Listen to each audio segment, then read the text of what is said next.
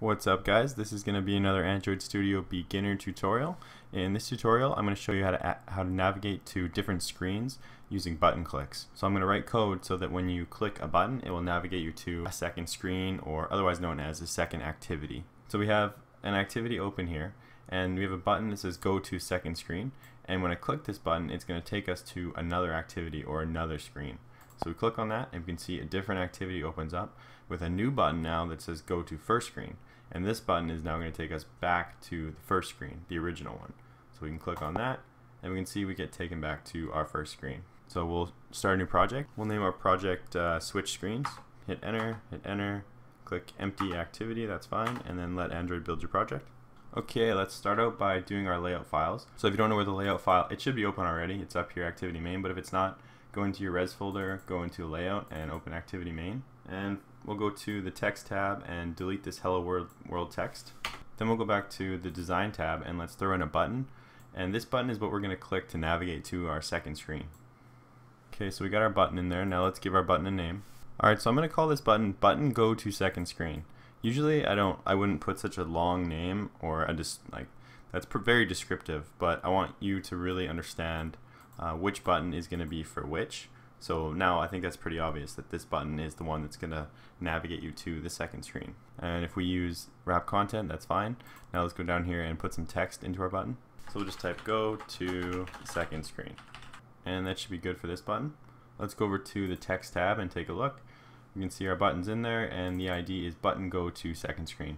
Cool. So now we're going to have to build a second layout for the second screen. So we'll go over to layout, right click on it, go to new, layout resource file and we'll give it a name. I'm just going to call it second screen layout and let's make it a relative layout. Oh, I clicked enter. Okay, we'll go back to the text tab and change this to relative layout. Now we're back to the design tab and just like the previous layout we're going to drag a button in and this button is going to be responsible for navigating us back to the first screen. So the ID that I'll give it is button go was it button go first screen. Because in our other layout activity main oh it's go to second screen so I'll call it go to first screen. Go to first screen. And wrap content's fine. And this and we'll put some text in the button and the text will say go to first screen. Oh, why isn't the text updating? That's weird. There we go. Okay. And we'll go back to the text tab and we can see there's our button and the ID is go to first screen. So that looks good now we can actually start writing some code. We're going to have to create a second Java class to host this second screen layout. So we can see in main activity, we have in the onCreate method, we have set content view r.layout.activity main. It's setting its layout file to activity main. So we need to do the same thing, but set the layout file to second screen layout. So we'll go over here, right click, go to new Java class, just call it second screen, hit enter extend app compat activity. So in case you didn't see how I did that, just type extend, type capital A, and you can see app compat activity comes up. Now we need to insert the onCreate method. To do that, we can either hit Control O, or we can press Alt Insert, and we can generate override methods. Since it's an override method, we click in here, start typing onCreate, and we can see there's our onCreate method. So we just stick that in there, and then we want to set our content view. So set content view, r dot layout dot second screen layout and that's all. And anytime you add a second activity to your project you always have to add it in the manifest. So we have to go to the manifest file and we can see here's the activity for main activity. You can see the activity tag start here and the activity tag end there. We need to add another one for our new activity. So there's second screen click enter do a uh, what is it greater than or less than sign this one right here and it will close your activity if you don't add this to your manifest, anytime you navigate to the second screen, your app will crash. Or it might even just crash right when you start to run it. So we're done in the manifest, we can close it. And let's go to activity main and start writing code. First thing as always is get your log. So just type log t, press enter, and then let's go down to the onCreate method, and let's just write a log letting us know that onCreate is starting. And then let's create our button. Oh, we need to import our button library, so we can see Android Studio is telling us to do that we need to click Alt Enter and it will import our button library up here automatically. Uh, button nav to second. Kind of a long name, but I just want to emphasize that the, the ID doesn't have to match what the object name is. So then we do find by ID r.id. button go to second screen. So that's what I was just talking about. I wanted to, to show you that this name does not have to match this name. This is just the ID that refers to where the button is stored in memory. It's how the activity references the button in the in the uh, layout file. So we can see that in the layout file, the button's ID is go to second screen. So that's what we reference here. Now, just like in my uh, buttons tutorial that I made, we're going to attach an on-click listener to this button. So we just type the button, do dot set, you can see set on-click listeners there. Do new, capital O, and we can see on-click listener pops up. Just click enter, enter on that, and let's log it, why not. We'll just do clicked button nav to second.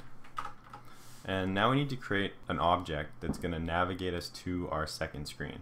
And we're going to use an intent for that.